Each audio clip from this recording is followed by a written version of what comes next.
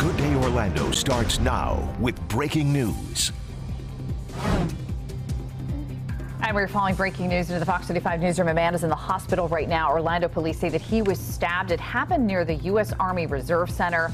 Officers were called out to Corrine Drive about 6:30 this morning, and Sky Fox was also over the scene, giving us an aerial view of where this happened. Again, it's uh, over the road by the U.S. Army Reserve Center, and officers are surrounding the scene, looking for any clues. Right now, they do not have a description of the suspect. Fox 35 Jessica Albert is also there on scene now, and Jess, officers, uh, they've been there for a couple of hours. What have you learned?